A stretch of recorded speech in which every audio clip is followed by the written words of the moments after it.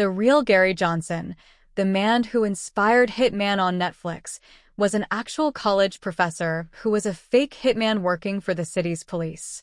Johnson was the focus of a 2001 Texas monthly story that detailed how he became the most sought-after professional killer in Houston, whose undercover investigations led to more than six...